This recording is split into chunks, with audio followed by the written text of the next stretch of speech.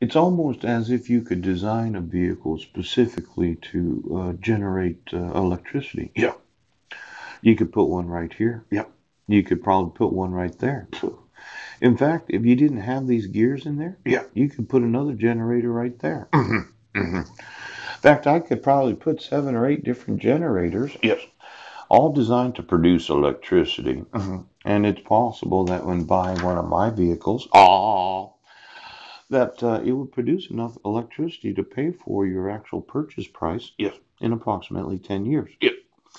Now, you don't think these little electric generators that um, generate electricity are expensive? Yeah.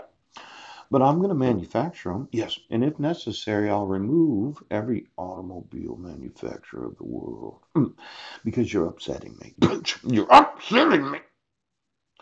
Now, we have what's known as the shaft, don't we? Yes. hmm And um, since the Pontonic is a fluid drive, Yeah. uh, I thought I'd use a little electric motor to get it going. Yes. I could put a wobbler in where the actual uh, engine is. Yeah. Generate a little, a little electricity to get her going.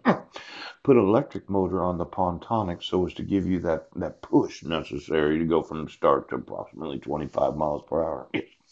And then as you're going, the fluid's moving. Yes. And I put uh, I put four different little electric generators, Yes. and then I put them on the shafts of the individual drive shafts, Yes, he does. and I'm producing maybe twice to three Times the amount of electricity in the